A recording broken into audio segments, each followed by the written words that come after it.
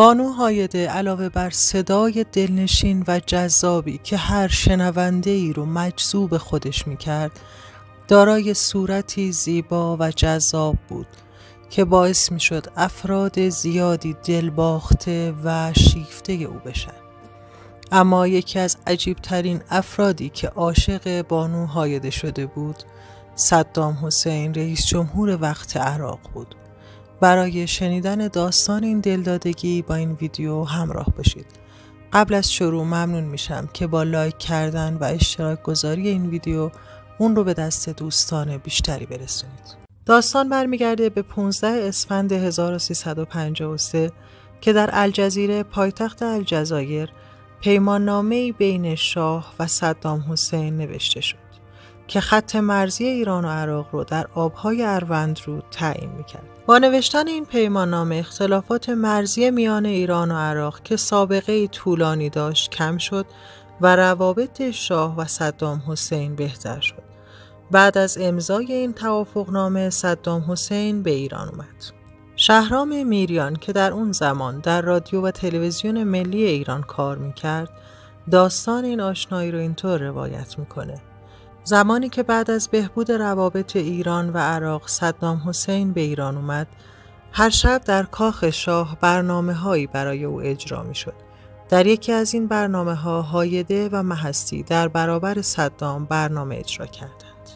در حین اجرای این برنامه زیبایی، جوانی و صدای حیرت انگیز هایده توجه صدام را به طرز عجیبی جلب کرده بود و او همونجا دلباخته بانو هایده شد. بعد از برگشت به عراق از بانو هاگده و محستی دعوت کرد تا در عراق برنامه اجرا کنند. من هم به عنوان سرپرست یک گروه خبری از رادیو و تلویزیون ملی ایران همراه با حدود چهل رقصنده از وزارت فرهنگ و هنر آن زمان به بغداد رفتیم.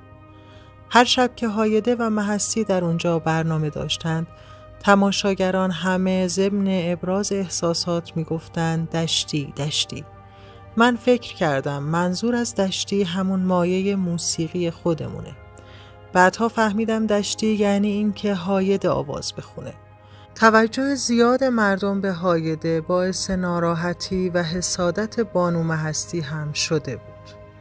در شبهای اجرای برنامه همه جا خبر دلباختگی صدام به هایده پخش شده بود و مردم حتی می گفتند که صدام با لباس مبدل به تماشای برنامه هایده میره و از دور خواندن او رو تماشا می‌کنه. توجه خاص صدام به هایده همه جا مشهود بود. در زیافت های شامی که به افتخار گروه هنرمندان ایرانی ترتیب می‌داد، دستور می‌داد صندلی هایده رو کنار صندلی خودش بگذارند و سعی می کرد با فارسی شکسته بسته یا به کمک مترجم با هایده صحبت کنه. اما هایده با شخصیت محکم و قدرتمندش طوری رفتار می‌کرد که تا آخر حضور هایده در عراق صدام نتونست پاش رو از گلیمش درازتر کنه. و اینگونه این خواننده محبوب ایرانی محبوبیتش رو به زر و سیم صدام نفروخت و باعث شد بیش از پیش در دل ایرانیان جا باز کنه.